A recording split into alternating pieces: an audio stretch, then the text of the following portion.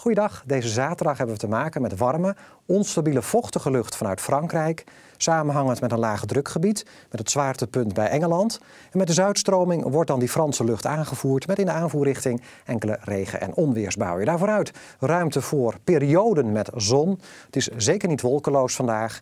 En vooral vanmiddag en begin avond vallen vooral landinwaarts een paar stevige regen- en donderbuien, lokaal met veel regenwater in korte tijd en hagel. Vanavond gaat het van boven zee breed opklaren. Het wordt een graad of 18 aan zee en 20 tot 21 graden in het binnenland. Met een zwakke tot matige wind uit zuid tot zuidwest. Komende nacht is het overal dan droog geworden. Het is vrij helder, maar niet wolkeloos. Later kan er wat laaghangende bewolking ontstaan. Her en der ook mistbanken. De lucht is vochtig, er staat weinig wind en het koelt af tot een graad of 10. Morgen steekt een matige zuidwestenwind op en vooral in de middag trekt een front over. Dan is het een tijdje zwaar bewolkt met regen of enkele buien. Langs de oostgrens kan het onweren. In de namiddag gaat het van boven zee weer breed opklaren. Alles bij elkaar is er morgen dan meer ruimte voor de zon de hele dag dan vandaag. Matige zuidwestenwind dus. En daarmee wordt het iets minder warm dan vandaag. 16 graden op de Zeeuwse stranden tot 20 graden langs de oostgrens. En dus de windkracht 3 tot 4 uit zuidwest.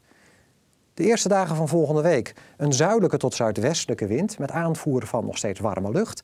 De eerste dagen van de volgende week is het droog of overwegend droog. En waarschijnlijk op woensdag de meeste ruimte voor de zon en met de zuidelijke bries worden dan het warmst van de hele week. Landelijk gemiddeld 22 graden, maar in het zuiden is 26 of 27 graden mogelijk. De dagen daarna zitten we in koele en onstabiele lucht met een westelijke stroming.